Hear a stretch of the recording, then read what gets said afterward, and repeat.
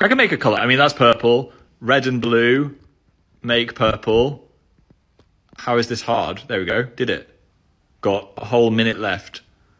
No, I need to get it perfect because I saw the person I saw doing this got it really close and it was 99. And I was like, I can tell the difference. Maybe a little bit of red.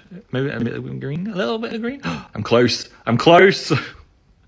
Uh, oh, oh, ah, oh, come on. Come on.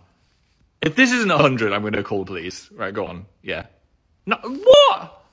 My eyes. Oh, yeah, it's a bit darker. Oh, well.